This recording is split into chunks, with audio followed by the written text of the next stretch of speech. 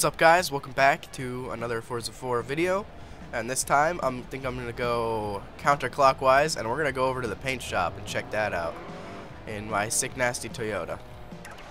So we're going to enter that. Alright, so we got the design creator. This is really cool. Really, really cool and you can do a lot of cool stuff in it that I don't do. but I'll show you how to do it anyway because there are some really, really awesome artists here. So uh, first things first, you can paint the car. That's easy. You can paint the body, whatever color you want. We can put a nice color on this one. I honestly don't mind.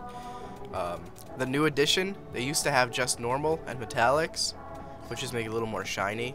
Now they have matted colors, because that's that's big in the uh, it's big in the street racing car culture thing. Not so much in pro racing, but it is in car culture. And matte colors absorb all the all the um, don't reflect light. I mean, absorb it more. So you know you can see the different effect from normal to metallic and then to matted. So I'm thinking I'm gonna put a nice matte white on mine because I kind of like the white. Maybe maybe a little bit of silver. I'm not sure. Um, not not that. I don't I don't do weird things. I I okay that's a lie. I do weird things, but only sometimes. Um, yeah, definitely this looks nice. I'm gonna go with that.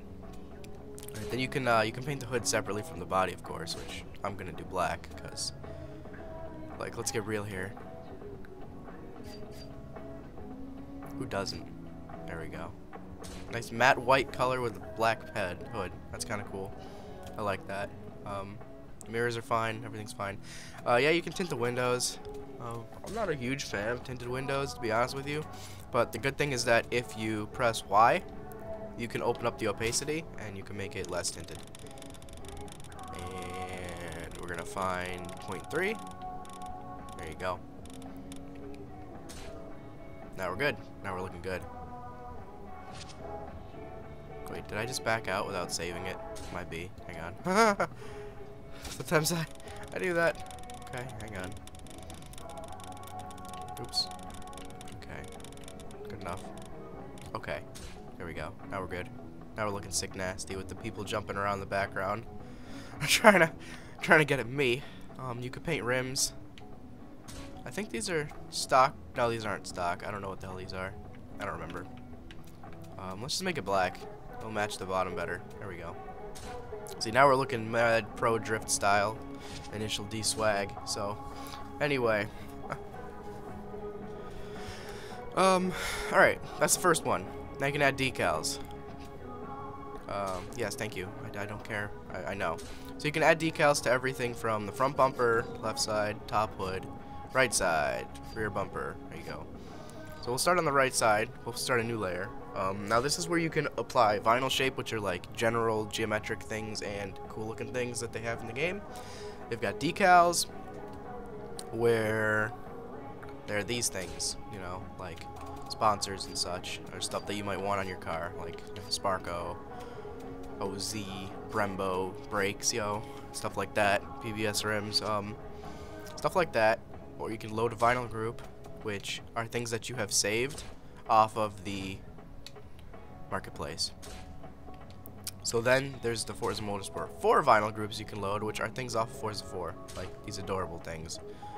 Yeah, alright and then add all from other side is when you can take things that are on the other side of the car, obviously, and put on this side of the car and delete all layers. So let's just go ahead and put something on the rear bumper. We're going to load a Forza 4 vinyl group that is all the way at the end. Akina Speed Stars load. We're going to load that up.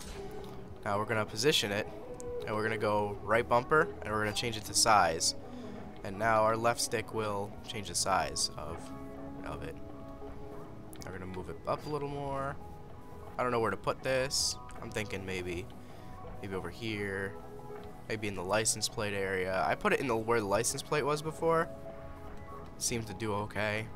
It wasn't like spectacular looking there. It might have to just be good enough because I honestly don't know where to put this.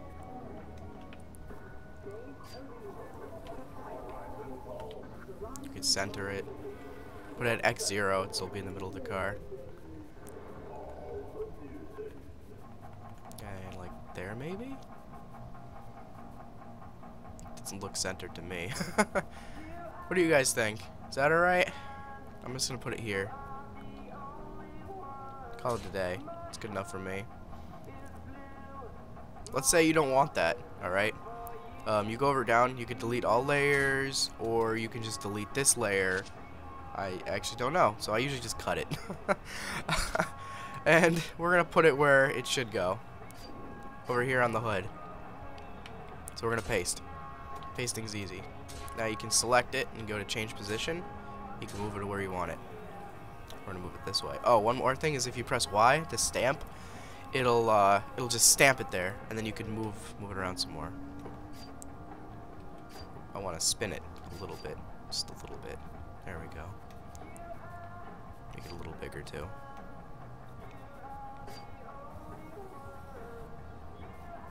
I could put it there if I want to. Might do. Might have to do. Be good enough. I think that's good. I think we're looking good now. What do you think?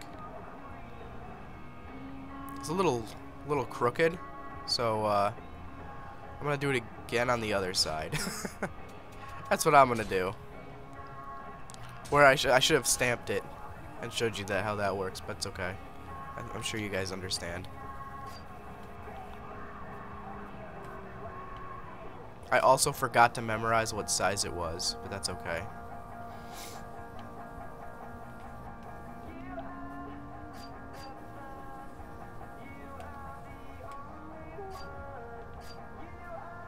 Also, I feel like the camera moves too slow. I don't like that. It takes forever to move things around.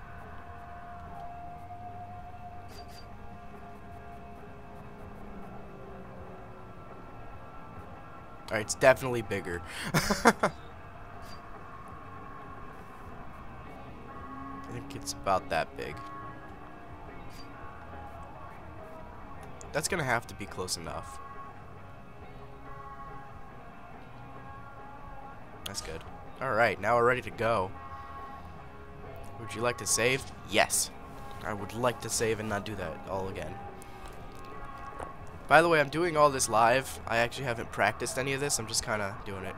So here you can create vinyl group. And this is where you get this cool little grid. And you can put things together and make a bunch of like vinyl shapes. One sticker. Or one, one decal that you can put on later. Obviously, you can load from Forza and you can clear the car's design. So that's cool. Then you can load, obviously, if you save this over here in the design creator. Um, there's a way to save it. You're gonna have to figure that out. but you can load a full design that you got off of the marketplace or your own designs. Um, there's a storefront where you can search. So you search all the different types of cars and designs, search all the vinyl groups. Vinyl groups are not car specific, they're just, like I said, a bunch of decals put together to make something cool looking. Um, and you can search specifically car designs for your car. So, like this. And then I'm going to sort by hitting X to most downloaded. And obviously, this would definitely be the most downloaded. Alright? because it's from the fourth stage. That'd be kind of cool too. But anyway, I like mine. Mine's good enough. Thanks for watching, guys, and remember to rate the video if you enjoyed watching me dick around in the paint shop. Next, I will go counterclockwise and will show you the marketplace. Thank you.